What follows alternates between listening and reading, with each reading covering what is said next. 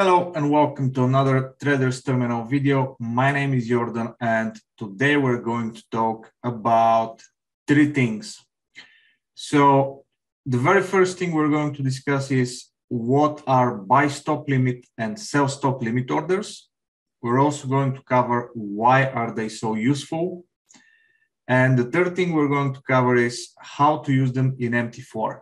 If you're using MT5 you're already aware that these two orders were introduced with MT5, but unfortunately, for those who are still using MetaTrader 4, these two options are not available. And these two options are super uh, good and beneficial for us, and we're going to cover that in a second. But first of all, let's talk about what are the buy stop and the sell stop limit orders.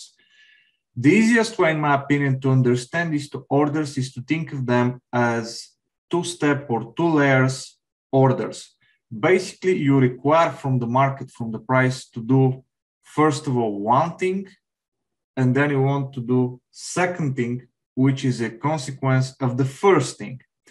In other words, I'm giving you straight away an example. Let's say you're a breakout trader and you have this, right?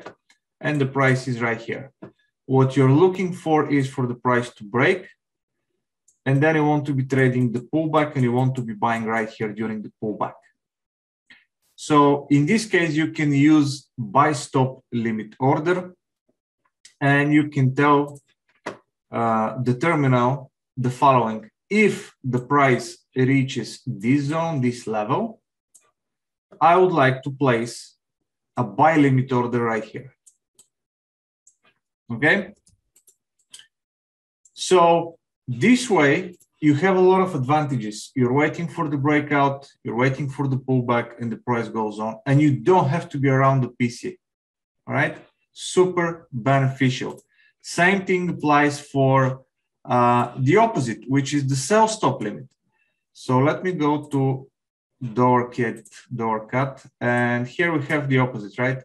So basically, what you can say is, let's wait for a breakout. I want to see the price coming to this zone or to this zone. Then I want to see a pullback and I want to be selling from here or I want to be selling during the pullback from here.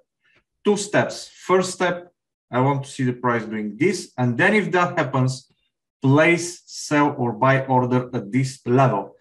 As I said, uh, this is super beneficial for us, especially for the breakout traders. So those are the two types of orders which we are missing in MT4, but they are super beneficial. So how can we use them in MT4? Well, unfortunately, there is no straightforward way to do that, but there is an alternative, which is to use a third-party software. And this is exactly what I'm going to share with you today, the Spotlight Trader.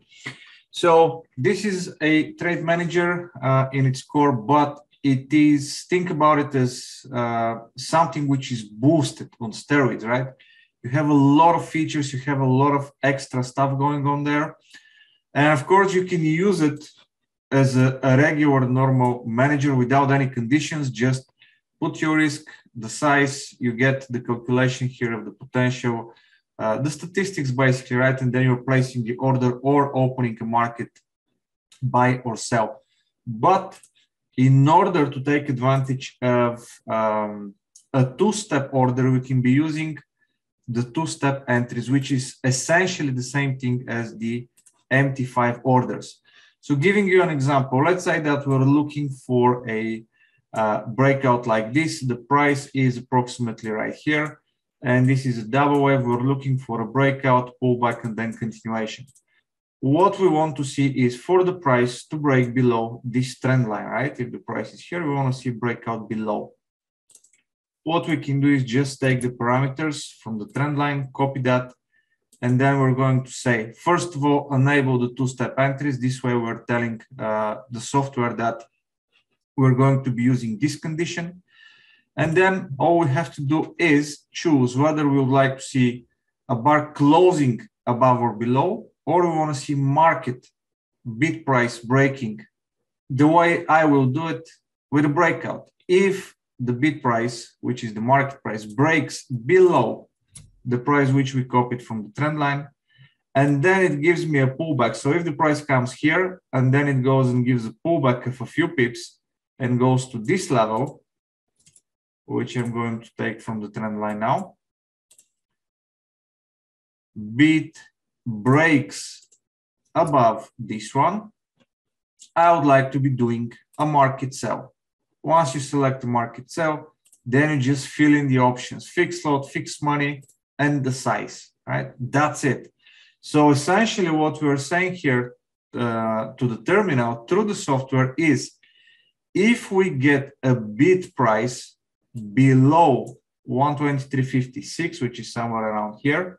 So if the price does this and the price, the market price goes to 123.64, which was approximately here, I would like to be doing market sell or sell pending or market buy or buy pending with uh, this kind of risk type and this kind of risk size.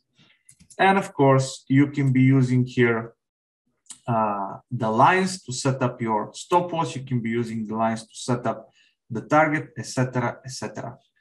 So this is pretty straightforward now, and I really love it.